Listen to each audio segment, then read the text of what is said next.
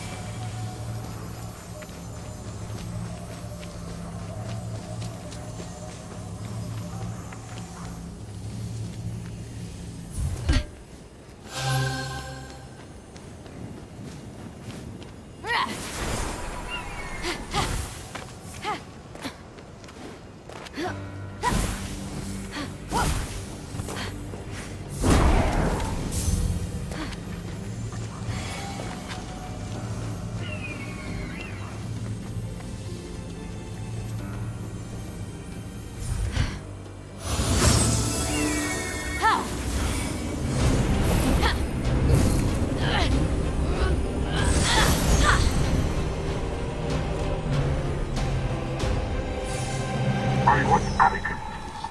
As the architect of the Minotaur's labyrinth, I chased perfection with a cold,